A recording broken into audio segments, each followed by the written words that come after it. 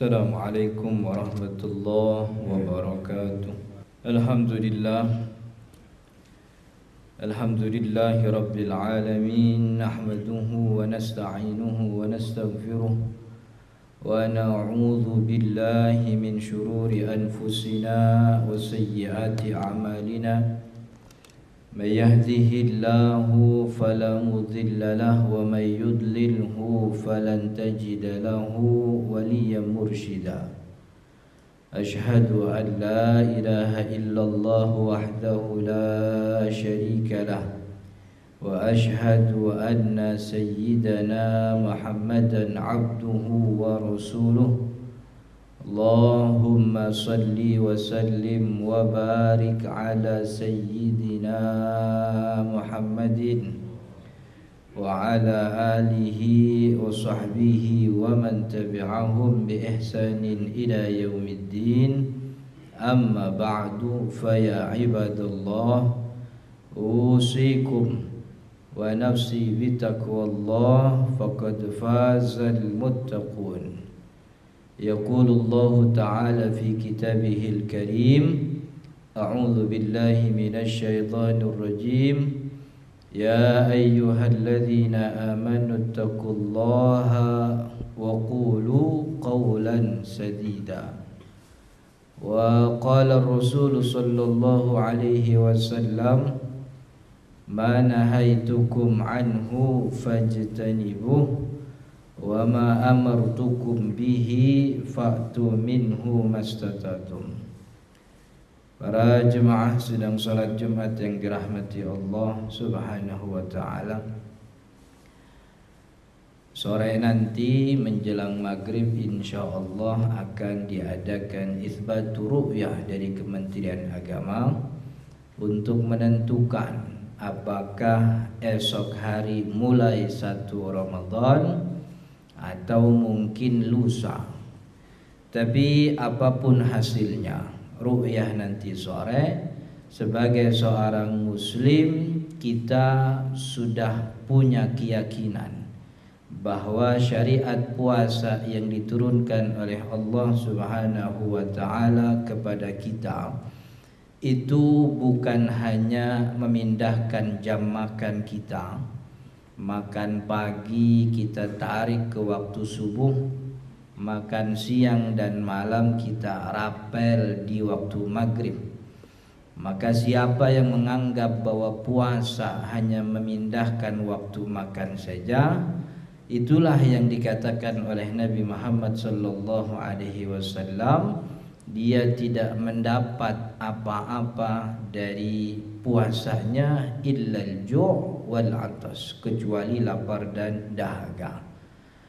Yang paling penting bagi kita sebagai seorang muslim ketika datang bulan Ramadan kita harus bergembira.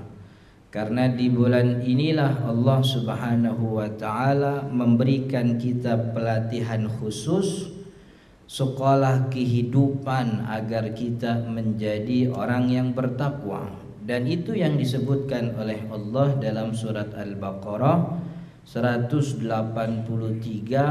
ketika Allah memerintahkan puasa la'allakum tattaqun agar kalian jadi orang yang bertakwa. Maka itu di dalam ibadah puasa sejatinya para jemaah yang dirahmati Allah banyak pelajaran, banyak ilmu, banyak materi yang merupakan instrumen ketakwaan. Karena Allah Subhanahu wa taala menyatakan secara eksplisit puasa agar kita jadi orang bertakwa, maka di dalam puasa Allah memberikan banyak pelajaran yang merupakan instrumen ketakwaan. Tapi sayang banyak di antara kita yang tidak bisa melihat itu. Kita menganggap puasa hanya ibadah rutin tahunan yang mana itu mengistirahatkan lambung untuk bekerja setiap hari. Akhirnya puasa kita hanya memindahkan jam makan. Datang azan maghrib kita ucap alhamdulillah. Tapi ketika datang azan isya kita ucap astagfirullah. Karena waktu makan belum cukup selesai antara maghrib dan isya.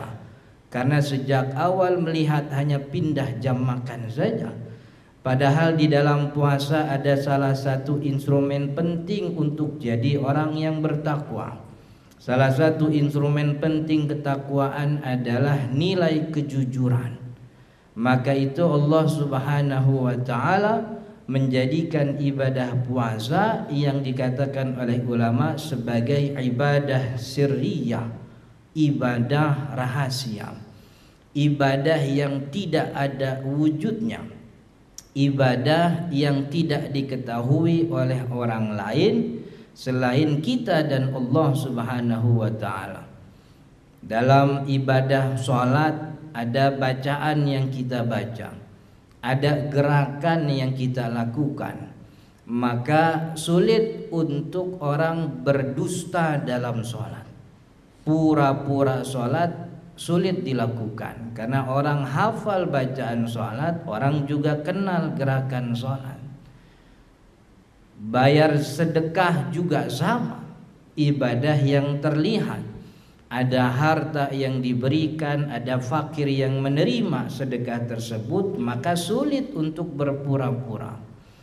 Haji juga sama. Bahkan satu kampung tahu kalau kita berangkat haji, kita undang ratiban, kita undang walimatus safar. Maka sulit untuk berpura-pura pada ibadah yang ada wujudnya.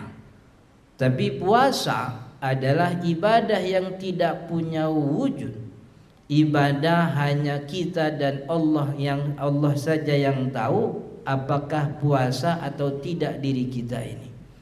Maka ketika kita keluar rumah tidak ada yang tahu apakah kita sebelumnya makan atau tidak. Begitu juga orang rumah kita. Taunya mungkin kita sahur saja di rumah Lalu setelah sahur pada subuh kita berangkat bekerja alasannya Tapi kemudian di tempat kerja orang rumah, anak kita, istri kita tidak pernah tahu Mungkin kita mampir di warung kopi Mungkin kita juga makan siang di tempat yang tertutup tidak terlihat orang. Ini ibadah rahasia. Maka pada ibadah yang tidak ada wujudnya kita ditantang oleh Allah untuk berani jujur dalam ibadah puasa. Berani gak jujur puasa di waktu dan kondisi orang yang gak ada tahu. Karena untuk pura-pura puasa itu sesuatu yang sangat mudah kita lakukan karena memang puasa itu sendiri tidak punya wujud. Kita tinggal pasang muka yang mungkin dilemasin, atau bibir yang dikeringin misalnya atau badan yang sedikit dilemah-lemahkan sehingga mengira orang kepada kita bahwa kita sedang puasa. Tapi ternyata sepanjang tahun dan itu rizki dari Allah tidak pernah kita dapati saudara muslim berpura-pura puasa. Apa pesannya? Allah ingin memberikan pelajaran bahwa untuk pura-pura puasa bisa. Orang nggak ada yang tahu tapi kan Allah tahu. Iya sih anak istri nggak tahu kalau saya makan di warteg tapi kan Allah tahu. Betul teman kantor juga nggak tahu kalau saya mampir ke warung kopi ngerokok sebentar tapi kan Allah tahu. Kalau Allah tahu saya tidak berpuasa tanpa uzur yang jelas Allah murka kalau Allah murka maka dapat dosa. Kalau kebanyakan dosa tentu susah masuk surganya. Allah mengajarkan dengan ibadah puasa nilai kejujuran karena itu instrumen penting bagi orang yang dikatakan sebagai orang yang takwa. Kata Nabi Muhammad wasallam dalam sebuah sabdanya, "Alaikum bisidqi fa inna sidqa yahdi ilal bir wa innal birra yahdi ilal jannah. Kata Nabi Muhammad sallallahu alaihi wasallam bahwa jujur itu mengantarkanmu kepada kebaikan. Kalau kalian tetap dalam kebaikan itu akan mengantarkanmu menuju surga. Dan itu adalah ganjaran bagi orang yang bertakwa. Tapi sebaliknya kalau orang sudah berdusta maka di kesempatan kedua dia akan berdusta lagi untuk menutupi dusta yang pertama. Di kesempatan ketiga dia juga pasti berdusta untuk menutupi dusta yang pertama dan kedua. Seterusnya maka orang seperti ini sulit untuk dikatakan sebagai orang baik yang layak masuk surga. Maka itu puasa beristri berisi instrumen ketakwaan yaitu kejujuran maka maksud Allah Subhanahu wa taala dengan melatih kita selama 29 atau 30 hari agar nilai kejujuran itu nempel dalam diri kita jadi pribadi, jadi jati diri. Di luar puasa pun kita berani jujur. Jadi pejabat pun pejabat yang jujur. Ya benar sih bawahan gak ada yang tahu. Tapi kalau saya korupsi, markup anggaran, nipu atasan, bohongin bawahan, nggak ada yang tahu tapi kan Allah tahu. Jadi mahasiswa pun jujur. Ketika harus memang bikin disertasi tesis skripsi, ya dosen sih nggak tahu kalau saya jiplang. Dekan juga nggak ngerti kalau saya plagiat, tapi kan Allah Allah tahu. Jadi pedagang juga begitu. Konsumen sih nggak tahu kalau saya malsuin timbangan. Pembeli juga nggak ngerti kalau saya nipu dalam takaran. Tapi kan Allah Allah tahu. Puasa mengajarkan itu. Maka dalam sabda Nabi Muhammad yang lain kata Nabi Muhammad man lam yada qaula zur wal amala bihi falaysa lillahi hajatun fi ayyada ta'amahu wa syarabah. Kata Nabi Muhammad siapa orang yang dalam puasanya tidak juga meninggalkan dusta Lagi puasa masih bohong Puasa masih nipu orang Puasa masih nilep Wal amala bihi dan juga tidak juga meninggalkan perbuatan-perbuatan nipu, dusta dan seterusnya Falaysa lillahi hajah Maka Allah tidak lagi punya urusan fi ayyada'a ta'amahu wa syarabah tentang lapar dan hausnya. Allah nggak lagi punya urusan. Kenapa Allah sudah berlepas tangan dengan orang yang puasa tapi dusta? Karena dia telah merusak inti ajaran daripada puasa itu sendiri. Dia berpuasa padahal Allah ngajarin buat jujur, tapi jujurnya tidak diamalkan, akhirnya Allah tidak lagi punya urusan. Itu persis seperti orang ingin belajar Quran tapi nggak mau belajar tajwid. Orang mau pinter bahasa Inggris tapi ogah belajar grammar. Mau pengen pinter bahasa Arab tapi nggak pernah mau belajar nahu sorob itu mustahil. Maka puasa yang kita jalankan berpahala atau tidak tergantung seberapa kuat kita menerima tantangan Allah untuk berlaku jujur sepanjang hari-hari puasa. Mudah-mudahan kita diberikan oleh Allah kekuatan dan juga taufik untuk terus dalam ketaatan kepadanya dan berlaku jujur dalam puasa di bulan Ramadan. Barakallahu li wa lakum fil Qur'anil azim wa nafa'ani wa iyyakum bima fihi minal ayati wa dzikril hakim.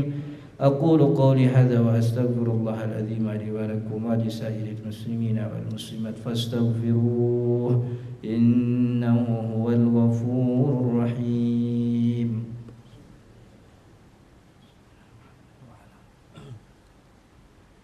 الحمد لله نحمد الله حمدا حمدا ونشكره شكرا شكرا. أشهد أن لا إله إلا الله وحده لا شريك له وأشهد أن سيدنا محمدا عبده ورسوله. اللهم صل وسلم وبارك على سيدنا محمد وعلى آله وصحبه ومن تبعهم بإحسان إلى يوم الدين. بعد فيا عباد الله أوصيكم ونفسي بتقوى الله فقد فاز المتقون. فاعلموا أيها العباد أن الله أمركم بشيء بدأ فيه بنفسه وثن بملائكته المسبحة بكتس حيث قال تعالى إن الله وملائكته يصلون على النبي. يا أيها الذين آمنوا صلوا عليه وسلموا تسليما. اللهم صل وسلم وبارك على سيدنا محمد وعلى آل سيدنا محمد. كما صليت وباركت على سيدنا إبراهيم وعلى آل إبراهيم في العالمين إنك حميد مجيد.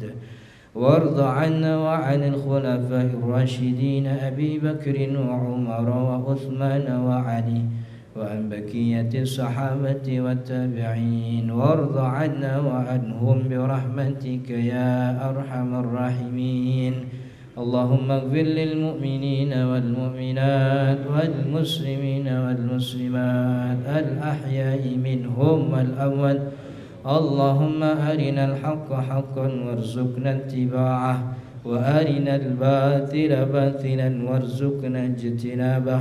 اللهم أعنا على ذكرك وشكرك وحسن عبادتك.